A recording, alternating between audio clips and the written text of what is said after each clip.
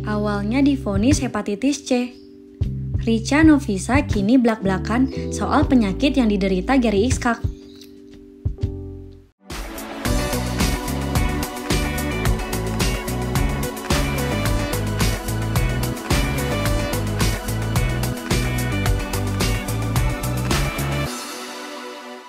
Gary Iskak diketahui sempat menjalani perawatan di rumah sakit sekitar satu bulan lalu. Saat menjalani perawatan, penyakit yang diderita Gary masih simpang siur, sampai dikabarkan menderita kanker hati.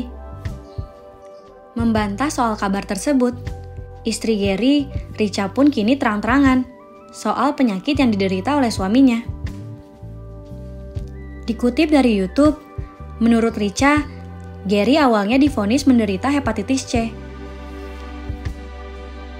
Penyakitnya tersebut didasari oleh beberapa faktor. Penyakit hepatitis C tersebut kemudian mengakibatkan Gary menderita sirosis hati.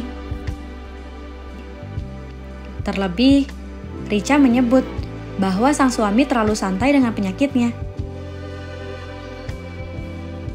Richa pun menegaskan bahwa penyakit yang diderita Gary adalah sirosis hati dan bukan kanker.